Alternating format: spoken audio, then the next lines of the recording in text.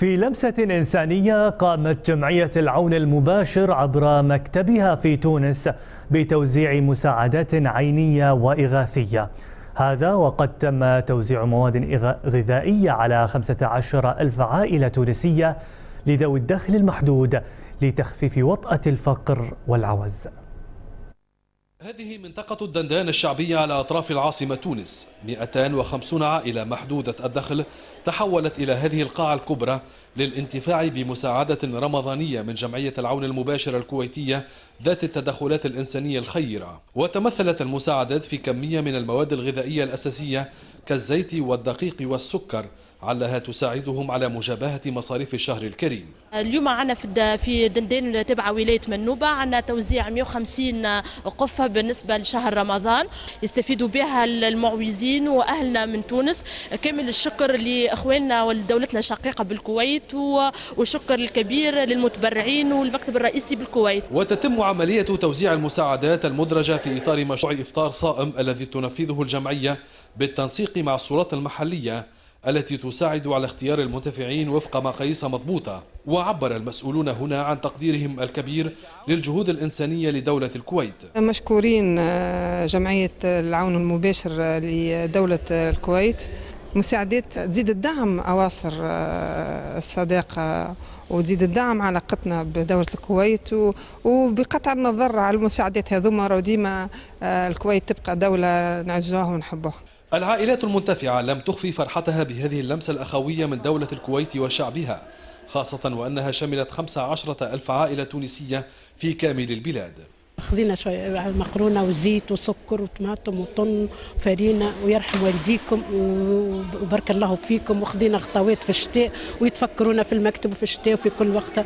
ونشكر برشا برشا دولة الكويت. فرينة سكر فرارج يعطيهم الصحة هما اللي يعاونونا في الشتاء في الخير معناتها في كل مناسبة يعاونونا. يذكر أن الدعم الكويتي لم يقتصر فقط على شهر رمضان بل ويشمل أيضا الأعياد. كما ستقيم جمعية العون المباشر حفلات ختان مجانية لفائدة عشرات الأطفال بمؤسسات صحية تونسية بمناسبة عيد الفطر. حوالي 15 ألف عائلة تونسية شملتها المساعدات الكويتية في 24 محافظة. لمسة خيرة تترجم عمق العلاقات والترابط بين الشعبين الشقيقين الكويتي والتونسي.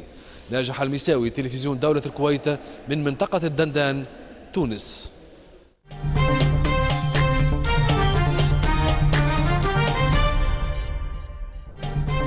ذكر مسؤول كبير بالمعارضة أن قوات النظام السوري التي تساندها روسيا ستتمكن من التقدم على طول الطريق إلى الحدود التركية إذا اخترقت دفاعات المعارضة في الشمال الغربي.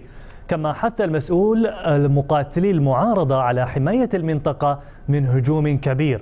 ويعتبر هذا الهجوم المستمر منذ شهر منذ شهر هو أخطر تصعيد بين النظام السوري ومقاتلي المعارضة منذ الصيف الماضي الذي أدى إلى فرار نحو 250 ألف شخص من إدلب التي تعتبر آخر معقل كبير للمعارضة. أعلنت منظمة الأمم المتحدة للطفولة اليونيسف أن 27 طفلا سقطوا بين قتيل وجريح في أعمال العنف في اليمن خلال الأيام العشرة الماضية.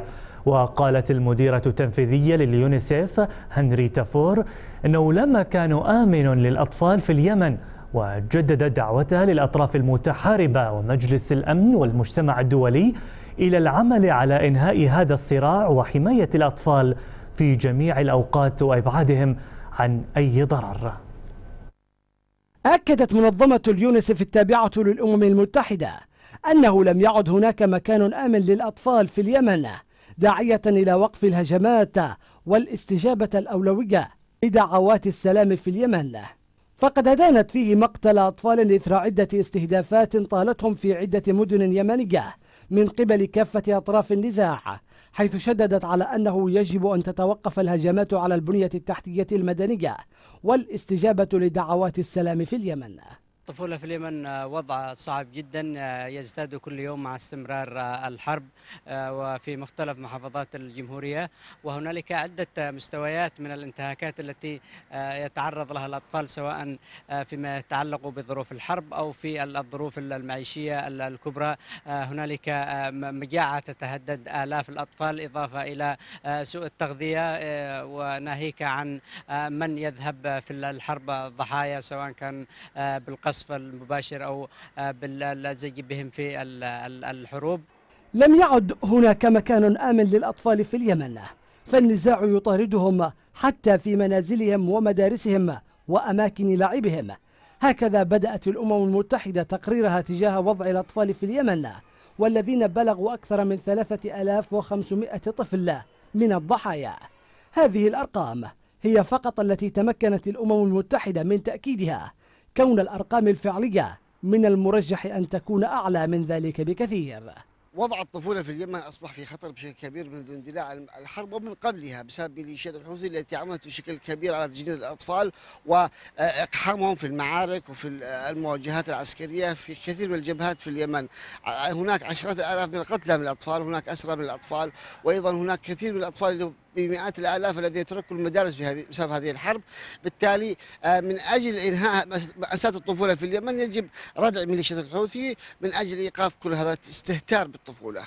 منظمة اليونسف حثت أطراف الصراع في اليمن كافة ومن لهم تأثير عليهم بالعمل على حماية الأطفال في جميع الأوقات وإبعادهم عن أي ضرر. يرى مراقبون للشأن الإنساني أن الأمم المتحدة ومنظمة اليونسف لم تخطئ في كلمة واحدة في توصيفها من أنه لا مكان آمن للأطفال في اليمن فمحاولة الأطفال وذويهم اللجوء إلى مناطق بعينها في اليمن يعد كالمستجير من الرمضاء بالنار. مروى النبيل لتلفزيون دولة الكويت عدن.